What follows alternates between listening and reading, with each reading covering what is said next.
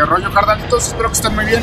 En esta ocasión les traigo los mejores lugares para caer en Warzone 2. El primero es Almarra City. En este edificio, el cual parece que tiene otro edificio pero chuequito, podremos encontrar muchísimo dinero ya que hay muchas cajas registradoras y muy buen loot. Ay, papaya de Celaya. Ay, papantla, tus hijos vuelan. Vámonos, perro.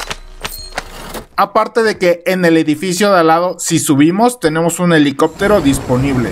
E igual en este mismo edificio de al lado, tenemos un increíble loot. Con esto podremos tener armas, dinero para comprar lo que querramos. El segundo mejor lugar para caer en Warzone 2 es el aeropuerto.